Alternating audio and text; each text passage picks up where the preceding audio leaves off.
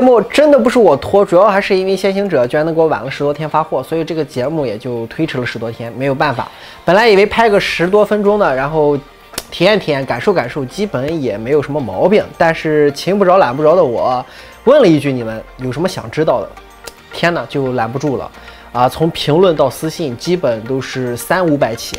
啊，评论还好，有两百个评论，发了两次，然后私信就直接爆炸，我都把大家的东西全都这样截图，一个一个画出来，然后每一个去整理、去整合，然后来做这期节目，啊，所以这个。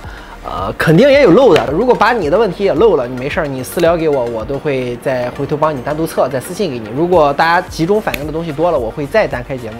但是这期节目应该是比较完整了，虽然我也不知道你们是不是真的能用到啊，千万千万你们是回家真的当生产力来用，去学习去工作。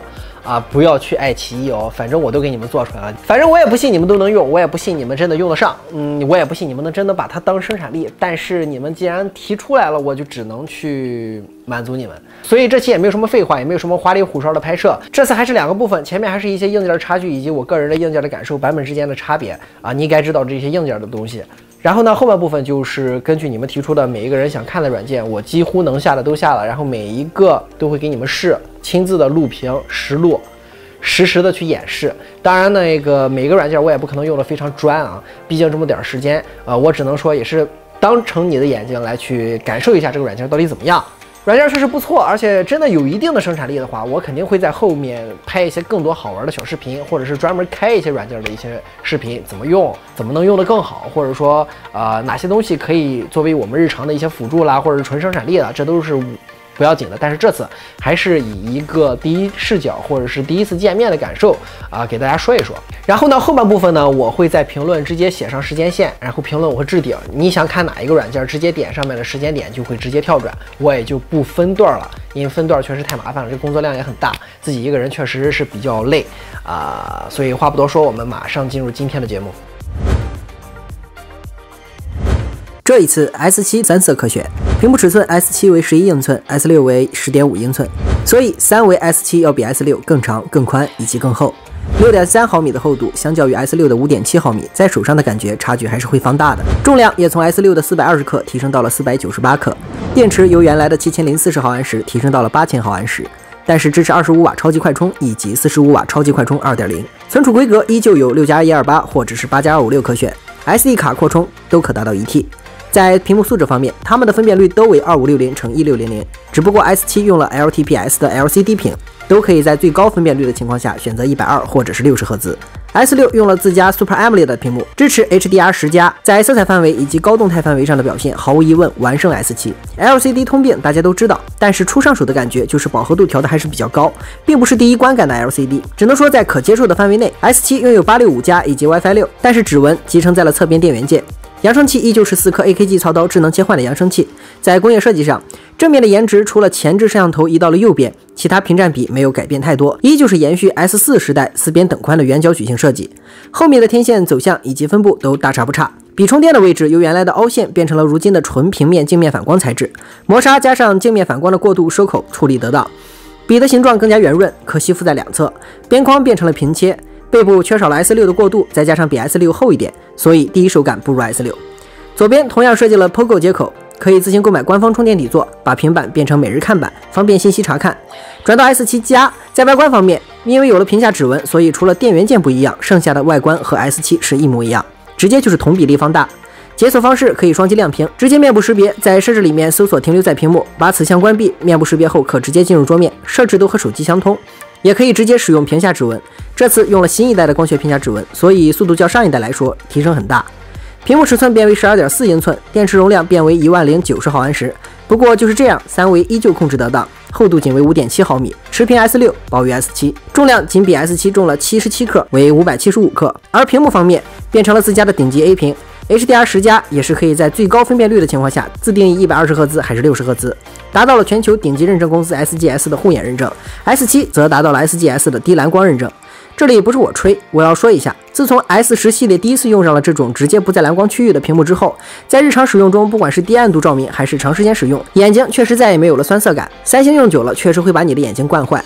当然这只是个人感受，不知道你们是什么感觉。全新的 S Pen 吸附力度相较于前代更强，并没有像上一代一样附送笔头。不过经过上一代一年的中度使用，完全没有必要换。即使换的话，查了一下，第三方三十多块钱两个头，加上配套的夹子。七系列 S Pen 的价格，国行第三方在四百八十元左右；S 六系列 S Pen 的价格，第三方在三百六十元左右。这次也增加了侧边吸附，九毫秒的延迟。如果说 Note 二十的六十赫兹体验不明显，那么一百二十赫兹下的书写体验，相较于 S 六是明显的提升。毕竟三星入股业界王者 Wacom 后，S Pen 的书写体验可以说是越来越跟手。虽然实体按键相较于 S 六来说变小，但是偏圆润的笔杆，握持感会更加提升。实体按键在握笔书写误触的几率也会。会变得更小。S Pen 全系列硬件通用，手机与平板无缝连接，拿起来就不需要连接，可以互相使用。常规的远程手势操作也依旧没有少。相机方面，平板仅仅只是一个刚需，所以这里就不相互比较了，也没有什么意义，都带广角，能用就行。屏幕越大越依赖于高刷新率，所以六十赫兹你也别开了，我就不测了。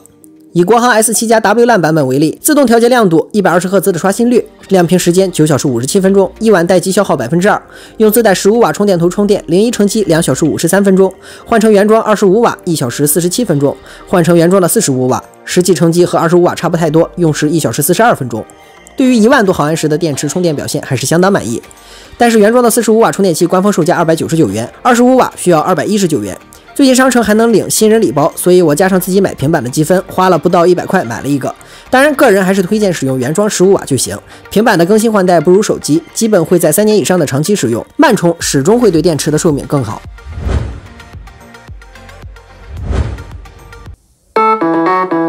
我想飞到天上去，去呀去放羊，给我心爱的羊儿吃上几朵棉花糖。我想站在海面上，捞一个大月亮，挂在屋顶亮呀亮堂堂。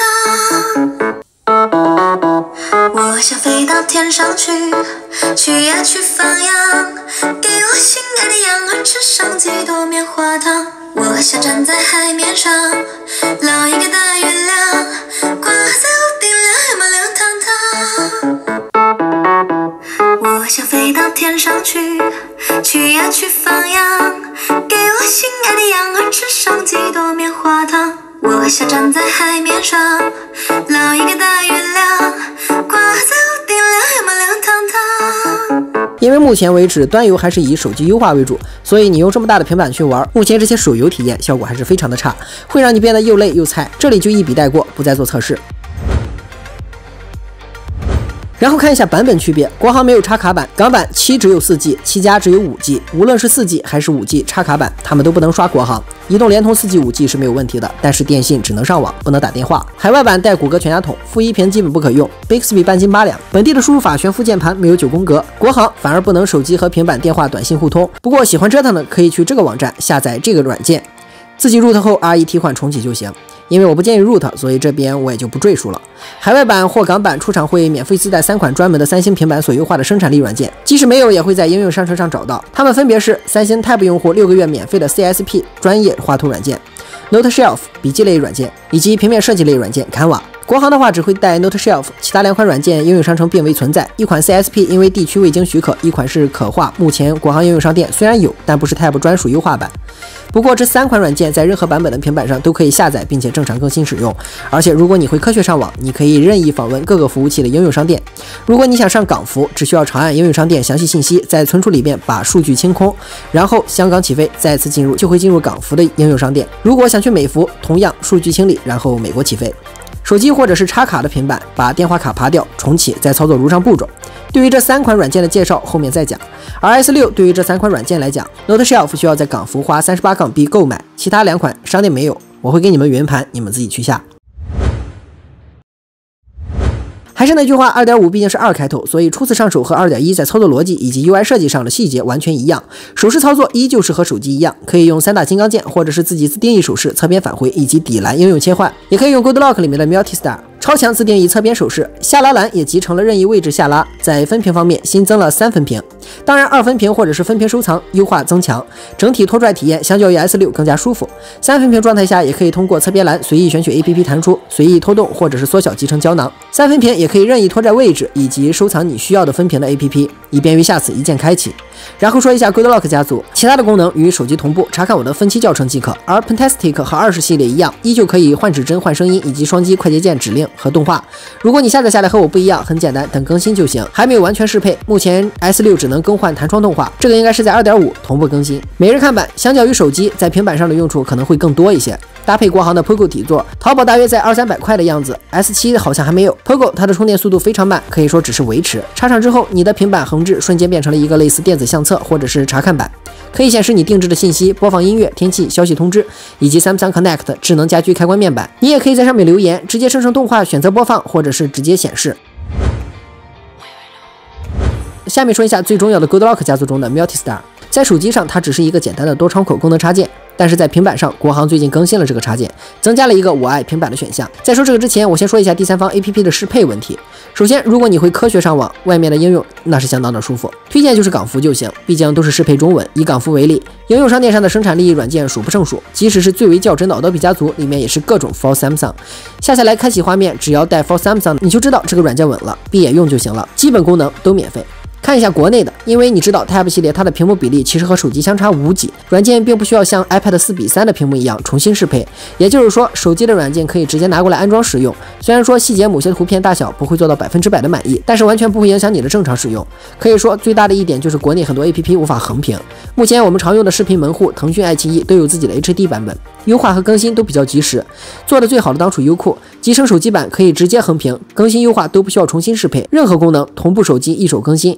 上面这些专属的 APP 在 S6 上使用一年的感受就是，无论分屏弹出还是窗口 DeX 模式，优化完美。但是像 QQ HD 就总是崩溃，可以说是直接放弃，不会更新。普通版的 QQ 又无法横屏，微信也没法横屏，安卓也没法同时登两个号。不过目前为止，这些困难应该都基本解决。首先在国行的 Multistar 里面，最新加上的我爱平板选项，S6 暂时没有。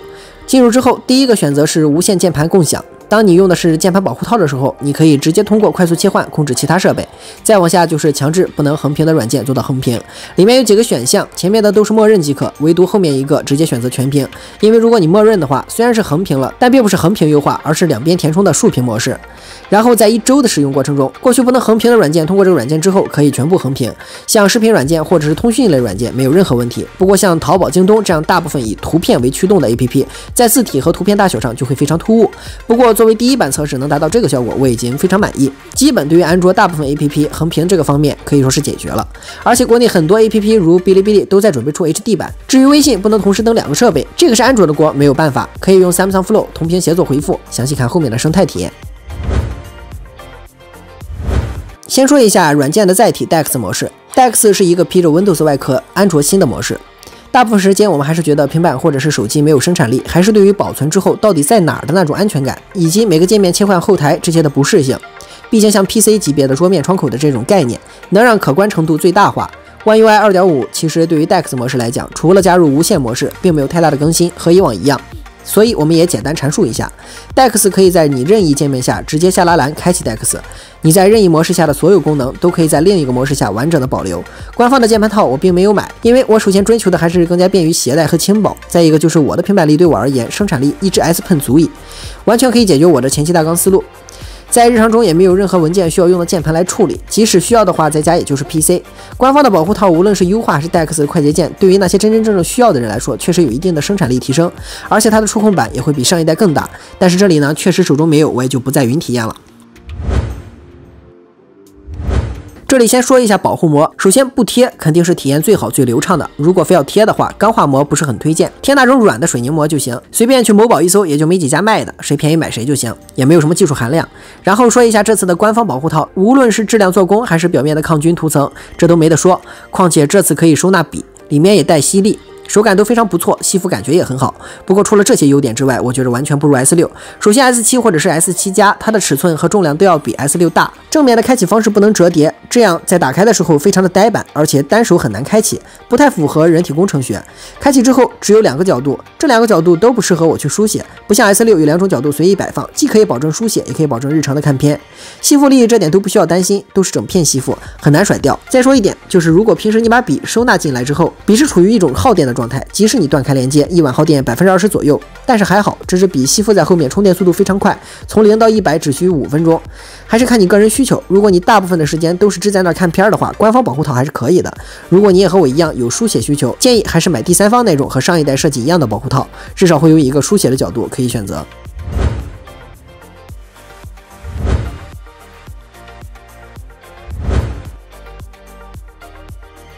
说一说生产力啊，那个很多平板现在目前都是打着生产力，虽然方向没有错，这也是未来的趋势，未来一定是去繁化。但是目前为止，这些生产力，嗯，还是那样。我的老话就是，无论 iPad 的 LumaFusion、Portrait，还是三星这些专属的 Office，甚至是和和微软关系这么好，它优化了这么多东西啊，再加上它的这个本身的一些生态。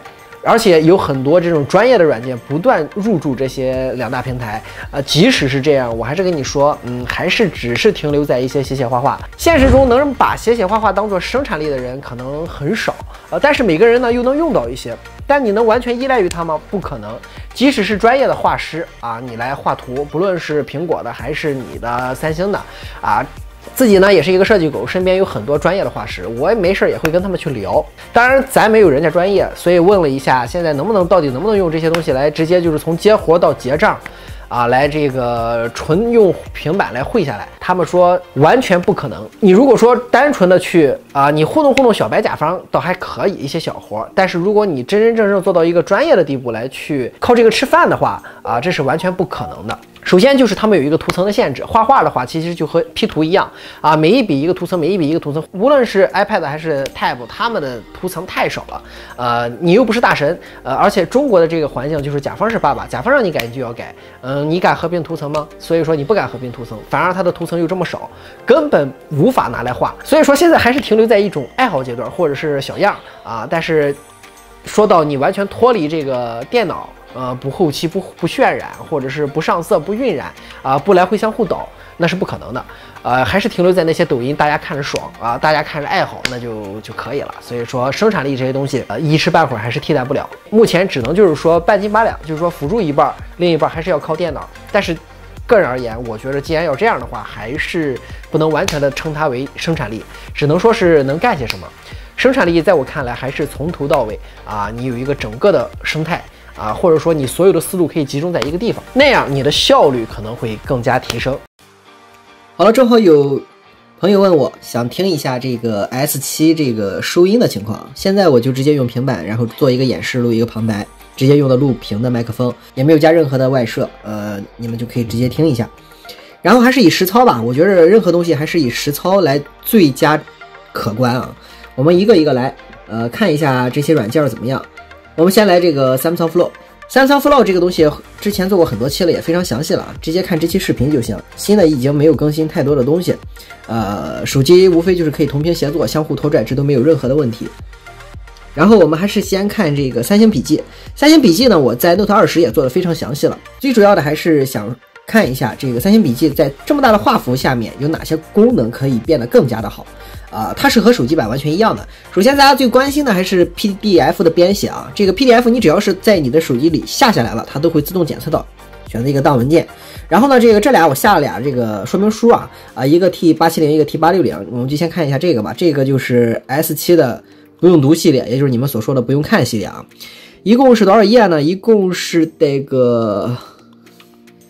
看一下这个目录啊，这个目录一共是一百八十二页，将近一百八十三页了吧？然后首先这个拖拽速度啊，你先看，基本拖哪定哪，嗯，不存在任何卡顿的问题。然后我们看一下分类，这个拖拽的速度，然后是识别速度也是非常快的啊，一共一百八十三页带图文，然后是也都是很复杂，什么都有的一个 PPT 啊，基本你定哪页就是哪页。基本你定哪页就是哪页，不存在任何的那个你说就是说卡顿什么的。很多朋友就想问编写，我们就来试一下吧，编写。然后在试之前，正好把这个三星功能在这个平板上面有哪些值得用的功能说一下。首先画幅变大，有些东西你来回操作这个操作这个界面页面啊，就会很很复杂。我们直接长按这个地方，它直接就可以拖拖拽。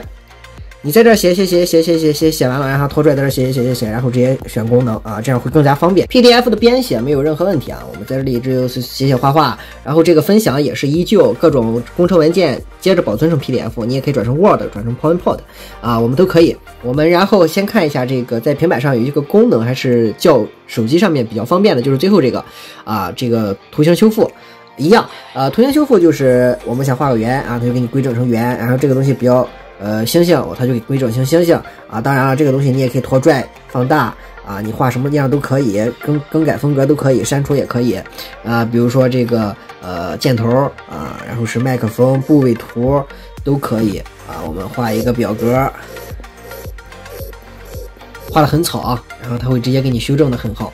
啊，当然这个你也可以拖拽、拖长啊，变这个方向啊，甚至是缩短。然后是这个笔刷也可以，删除也可以，更改风格也没有任何问题啊，变成颜色，任何颜色都没有任何问题啊。做一个小表格，这样你在上面然后再再再随随便便一写点东西什么的啊，这个就是很快的一个东西啊。当然你也可以跟朋友一起下这个五子棋啊，下棋是吧？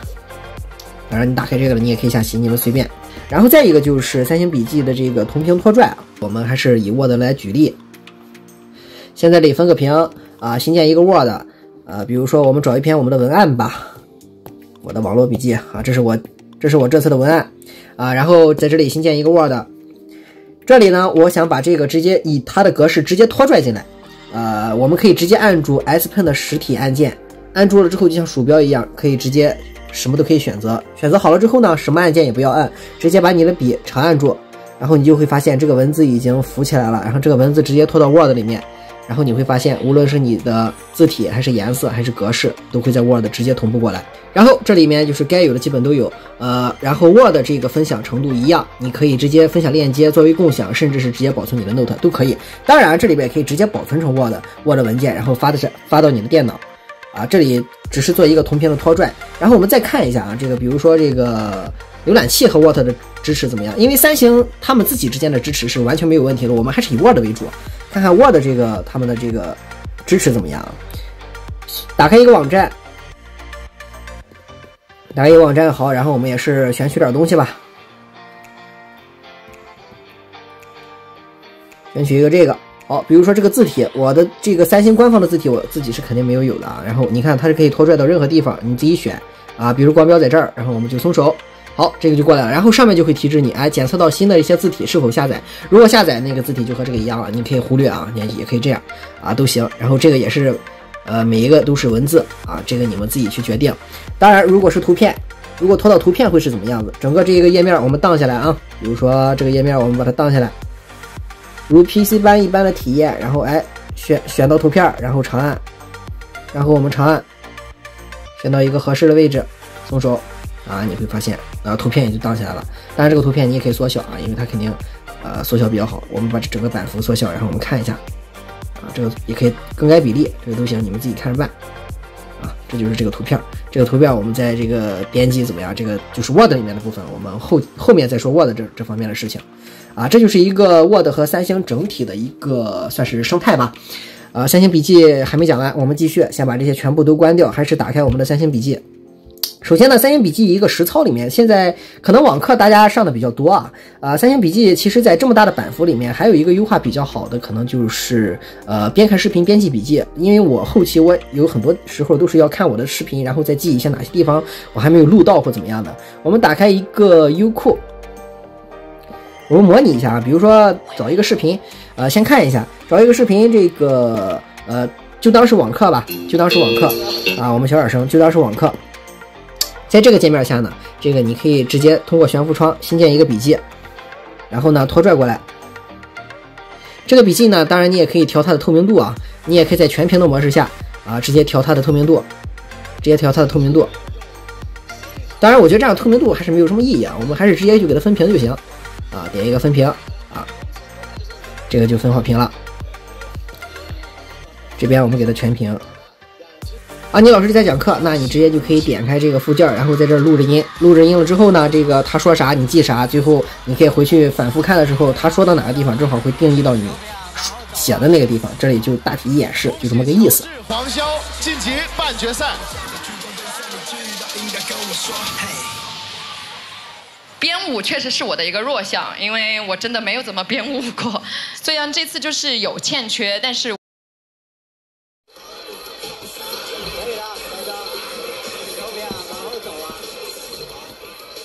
乔治、黄潇晋级半决赛。编舞确实是我的一个弱项，因为我真的没有怎么编舞过。虽然这次就是，然后这个常规的三星笔记基本结束了之后，我们就看一看这次三大件儿吧，算是最新优化的这三款软件啊、CSP 啊、可画以及 Note Shelf。这个国行也有，我们先看一下它和三星笔记到底有哪些区别。在我来讲，我最喜欢用它哪一点，就是它的有很多免费的模板，比如说我们从头开始点一个加号，它的这个思路是这个样子的，你可以新建笔记本，新建整个一个笔记本啊，你可以在笔记本里面改封皮儿，比如说你这个笔记本你想做什么，以我为例吧，比如说我想写首歌吧，然后我就选一个啊、音乐的这个模板，这个模板你都可以免费下载啊，你可以看这里面这所有的模板，好就好在这里，这些模板呢，你可以比如说你是医生，你点一下这个治疗师。然后呢，它这个治疗师里面就会有非常多的这些啊、算是病例啦、病单的这些模板，你下载下来直接在上面填写就可以啊。比如说 UX 的设计师啊，对吧？我们就举个例子啊，热带的封皮，然后是学校的封皮，我们先定个封皮吧，然后音乐的啊，我们先定一个定一个封皮，然后我可以更改里面版式，嗯，它自带的有横版、竖版、素色带横线的暗色系、午夜色系、标准的 A4 纸、标准的信纸、书写的格式啊，活动策划啊，比如说这活动策划表、健康健身，给自己制定一个健身的计划，音乐。啊，五线谱、吉他谱、尤克里里谱都有，然后父母啊、生产力、UXB 这所有的这些模板非常的棒，直接就是免费。虽然三星笔记也可以，但是三星笔记还要有一个步骤导，而且不能直接在集成在网上下载，肯定没有这个方便。我们来一个写歌吧，比如说啊，我要建好了，然后我写上名，写上名，写完了之后我们就创建，创建完了之后进去，那它就是一个标准的这个五线谱。然后呢，到了这个界面，它还是比较简洁的，它的功能其实没有三星笔记多啊，但是该有的都有。第一个就是连接了你的笔之后，你也可以收藏。然后呢，这个笔笔的大小呢，它不是无极调节，你得自己选，也可以选择，也可以收藏。这个呢就是荧光笔，然后是一样的，这个呢就是橡皮。啊，因为它是和 Galaxy 专属优化，所以它对 S Pen 的优化也非常好。比如说你写写写写完了之后，直接长按 S Pen，它也是可以擦去的。然后这个橡皮，这个是文本框，这个呢和那个云型选择是一样的，选中了之后啊，你选中的地方你就可以啊移动更改随便，你们自己你随便看着办，这个是你个人选择。然后最后这个呢就是禁止用笔，就是你用手可以看你的页面啊，你写完了之后这一页写完了，我想到下一页，然后点一个左上角加号加页，或者接着是从选模板中选取啊，我们再添一页，然后往左滑就行了啊，这是第一页。然后呢，这是第二页啊，这是一一一一点一点滑。当然，右上角这个呢，它也是有这个规范化书写的，比如说一个圈儿，然后是三角啊、方框、箭头啊，五线谱可以吗？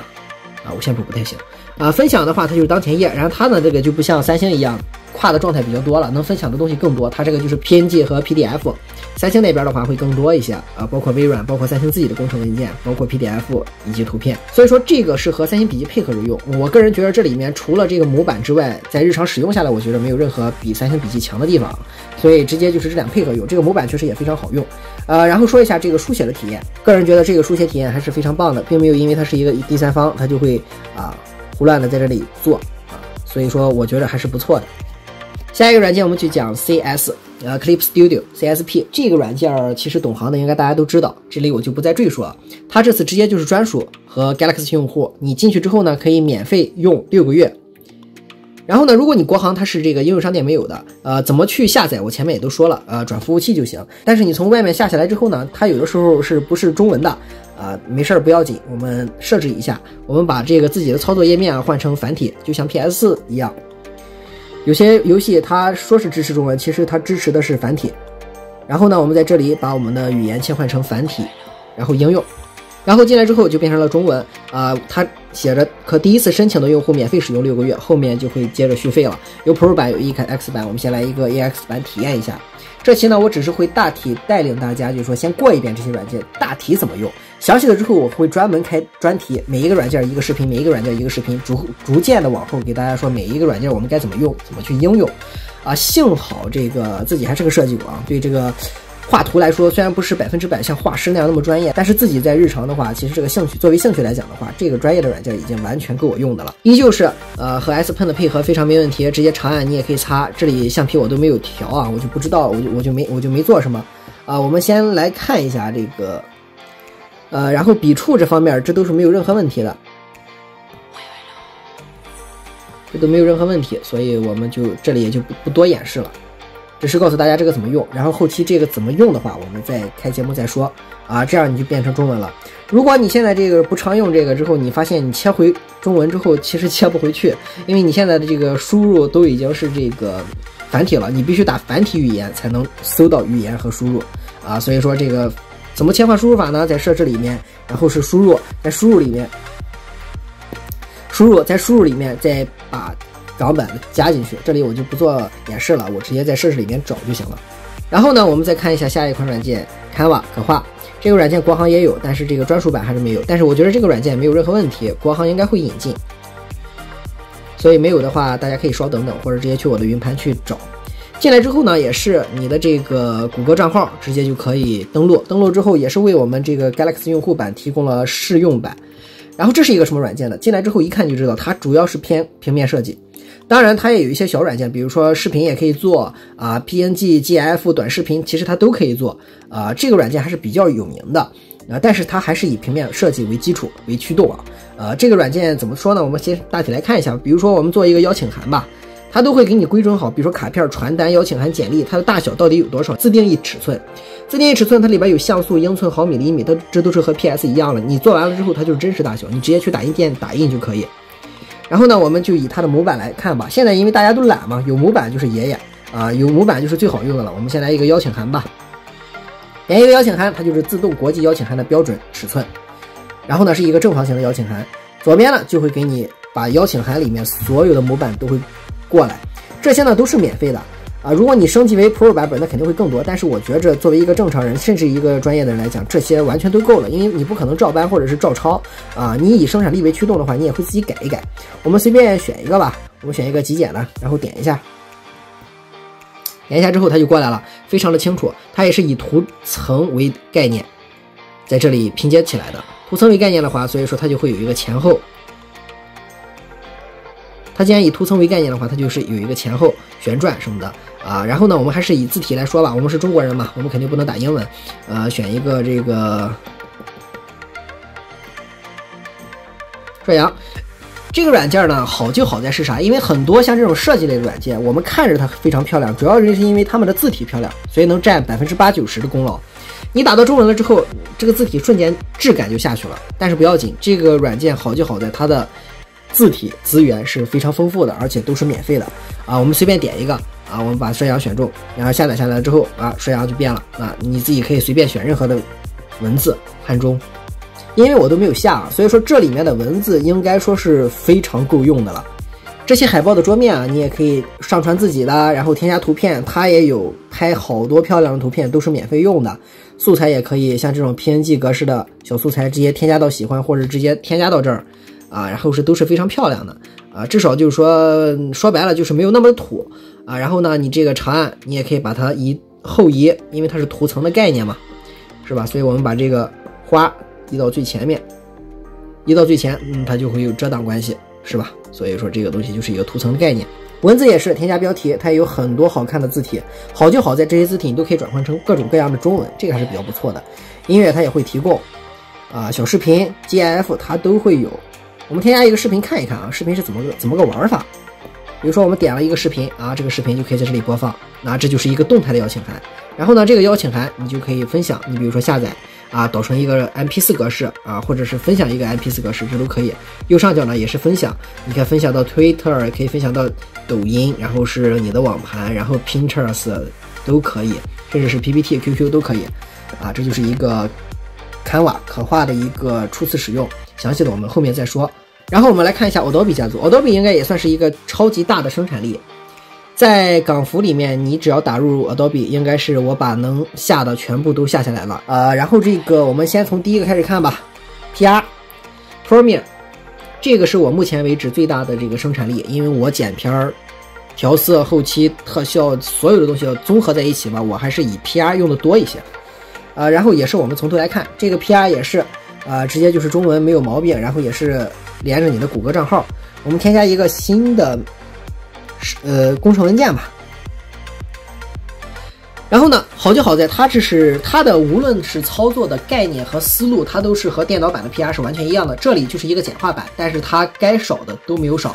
比如说这个思路也在这儿，它会直接就是媒体池就是你的这个图片和照片，你可以直接在这里面选取，非常的方便。它也给你选到视频、你的照片、你的设备文件夹，甚至你自己的音频音轨，因为是安卓嘛，这些东西你都可以自己去定义。我们选一个实例视频做个做个例子。啊，比如说我要剪这个片儿，一个小旅拍，好了，我选完了啊，这是音轨，上面这就是媒体池，下面就是时间线，然后我们点创建，好，创建了之后，我们就会发现上面是监窗，我们点击先看一下，然后呢，时间线配合着 S Pen 是非常的精细，你长按之后，你可以拖拽到哪一帧，你选取你需要的，然后上呢留住你需要的和不需要的，你自己随便去点，比如说这个我我稍微剪剪啊，这是需要有不需要的。然后下面的这个是你的这个时间线了。我们打开之后就会发现，它和 PR 是完全一样，有视频轨道，有音轨，呃，视频轨道，而且你也可以隐藏这个轨道，你也可以锁定它啊。这些详细的我们后面再说，只是大体先给大家感受一下。当然，这里最重要的是看这里，这里你也可以改变你视频的比例，比如说你想录抖音啦，或者是自己需要的一些视频啦，一比一啦，这些直接可以更改，就比较方便。虽然没有那么的专业，但是还是比较方便。然后呢，看右边它的调色的位置啦，或者是视频效果也和我们电脑是大差不差啊。这里有媒体，这里有风格，你可以选啊。我们比如说把这个拖过去，拖过去了之后呢，啊，在这里播放就会有了。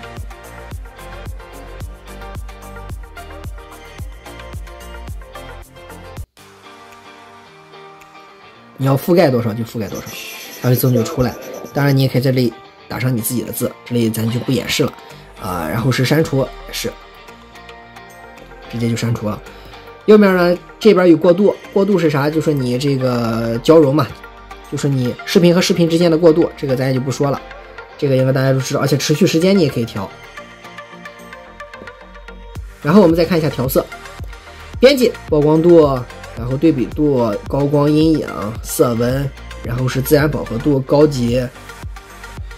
高级里面呢是有淡化胶片、锐化、晕影、双晕，这些还都是不错哦。这个有一点好处就是你可以加自己的 LUT，这个还是不错的。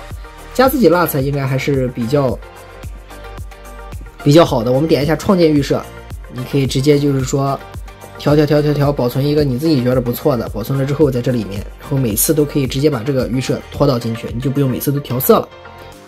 然后再往下，这个就是变速。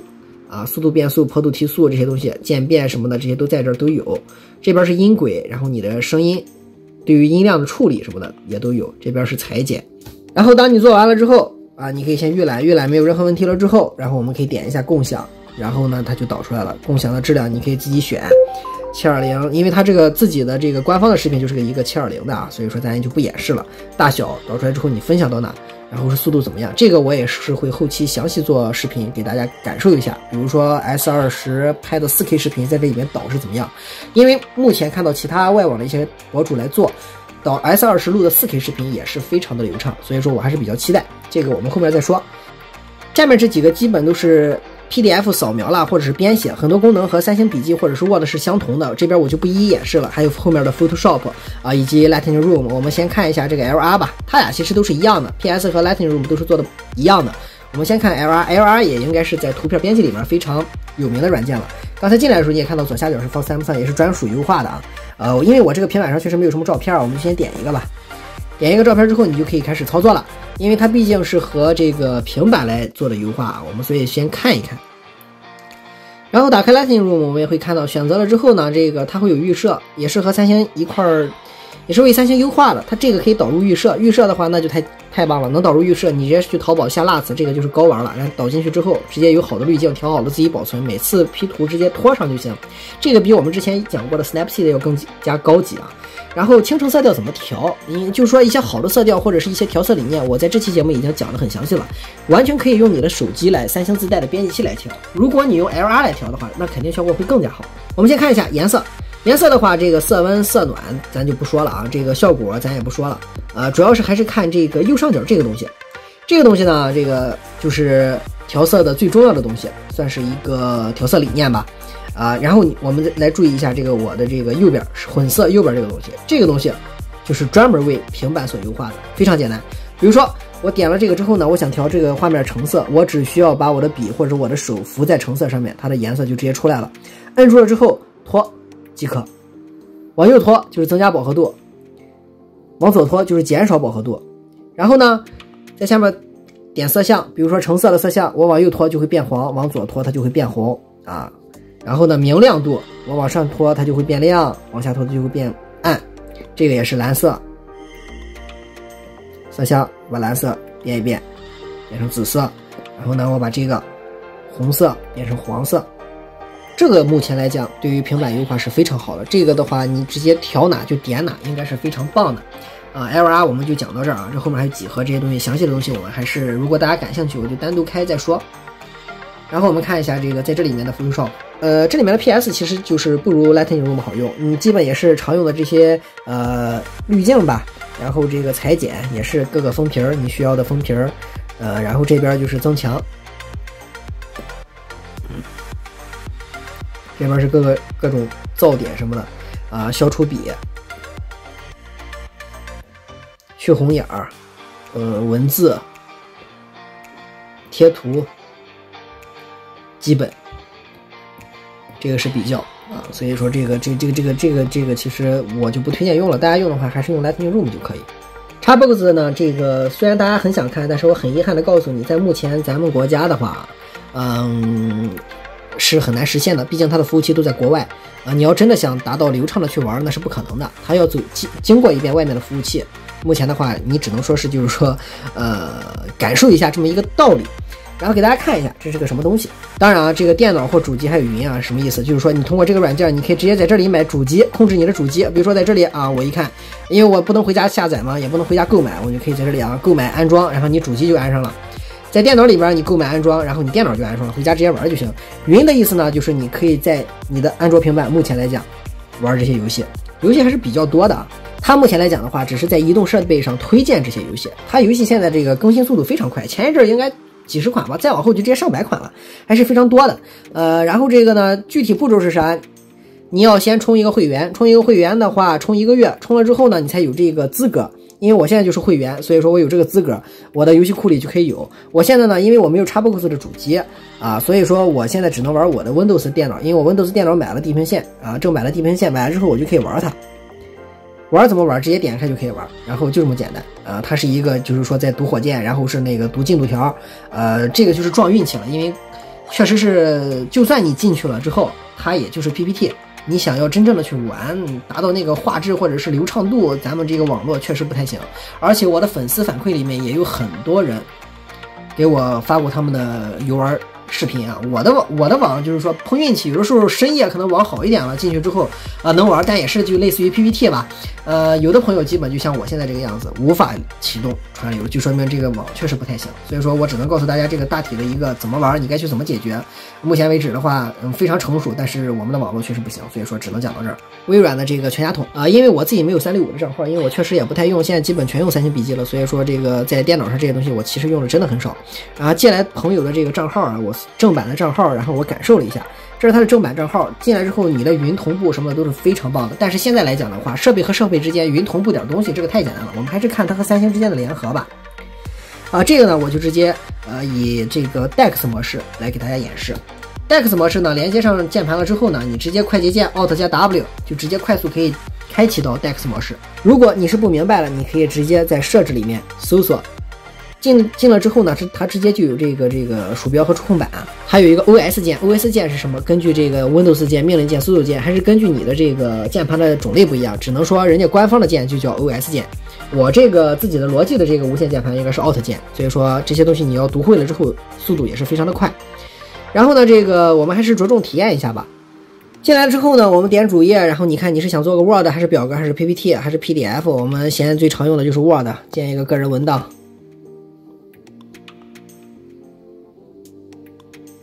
好，这就是我刚才，因为它直接就保存了，因为我刚才三星笔记不是跨屏拖过来了吗？它直接就会在我的云实时同步，非常的快，就是这么迅速，啊，感觉是非常的好。好，我们来编辑一下吧，点了之后就可以编辑，这时候我们的笔就可以让它歇着了。我们来试一下这个键盘的感受啊，因为我的键盘没有这个触控板，所以说我就是键盘配手，越配越有。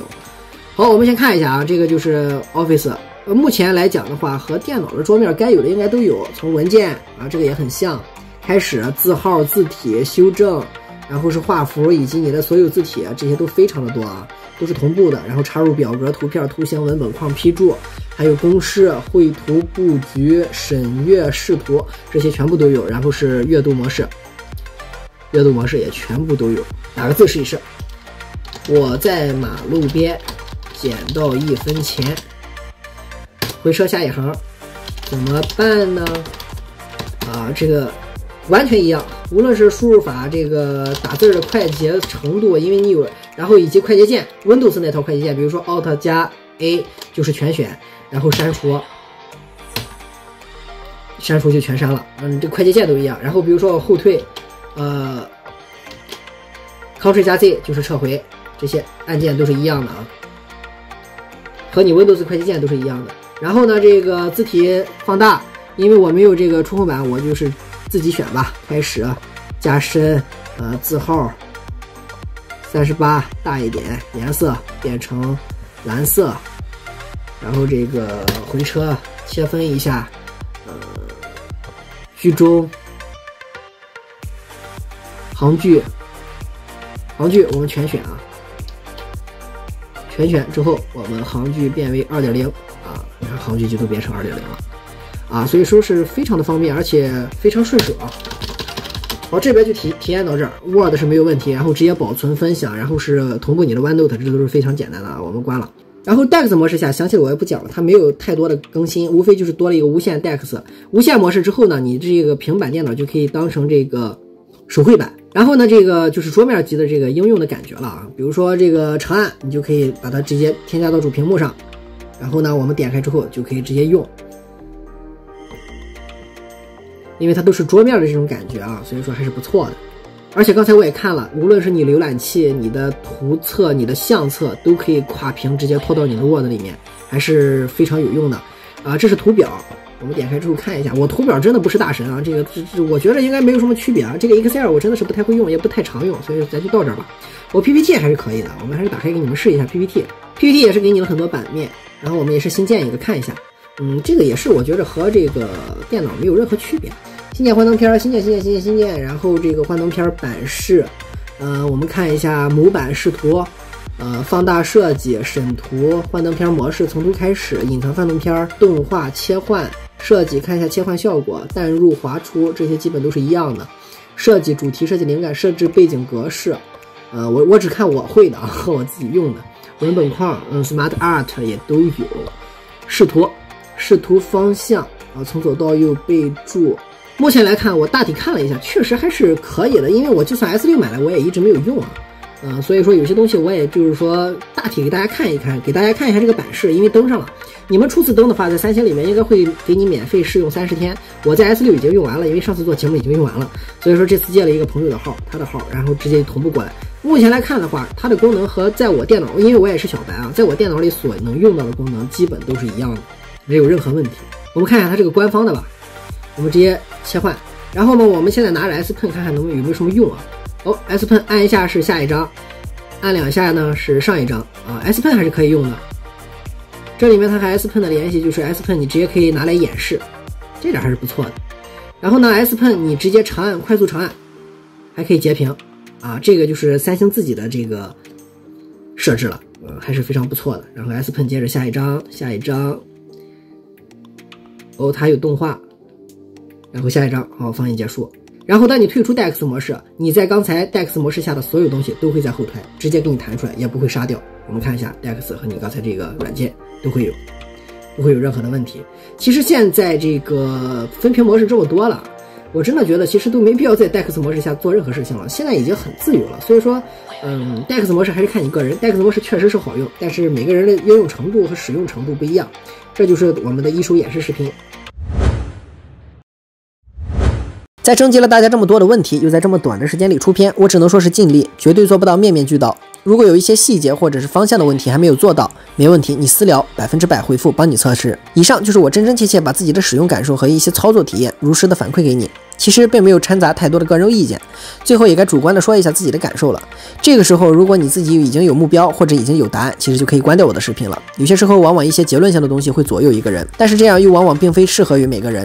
那我就开始说了，我曾经体验过 S 五 E 五点五毫米世界最薄的平板触感，我也第一次在 S 六上感受到了 HDR 十加捧在手心上的震撼。如今第七系列来了，它没有创下什么平板之最，却面面俱到的把其他方面都填充了起来。而且我在 S 六上面吐槽的所有痛点全部革新。促使我换七系列的原因就是大屏幕下高刷新率一定是要有的，作为生产力比一定要是圆的。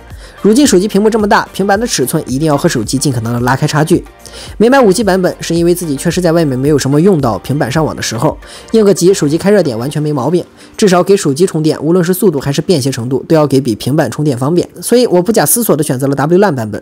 八加二百五十六 G 也是必须的。毫无疑问，平板的更新换代不像手机那么快，怎么地也得用个三到五年，一步到位才是真的省钱。